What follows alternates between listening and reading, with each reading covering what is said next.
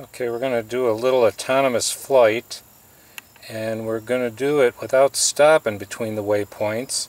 It's the adaptive mode and as you can see I'm going to I think do about nine points. They're not far. I want to be able to video the Phantom the best I can. So I'm going to press go and I'm going to turn around and take that off. Here we go.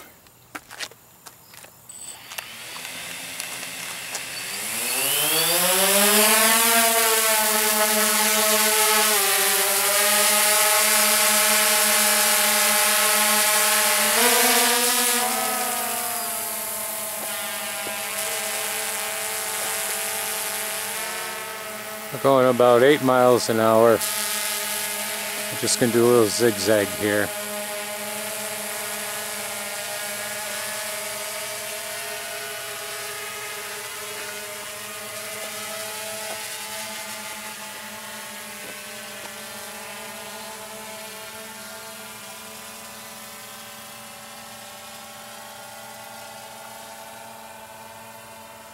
Get in as close as I can for you.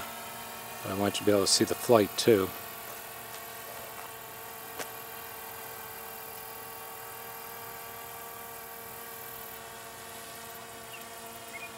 Battery was getting a little low so I wanted to do just a short one so you could see it.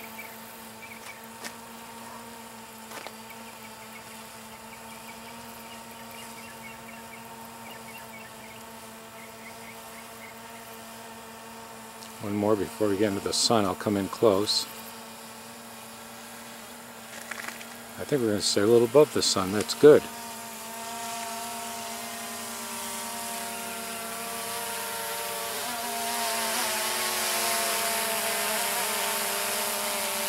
Oh, I put it on a loop, so it's going to go one more time around. That's okay. We got enough juice for that. I'll let you get a good look at it making its banks. And then halfway through I'm going to end this and I'm going to take it over and bring it in to be safe.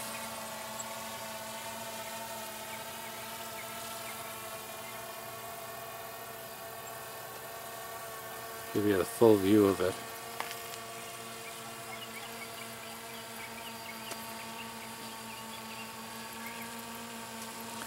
You can tell how many times you want it to go through the loop or if you just want to do one time and I set it for one loop, not on purpose.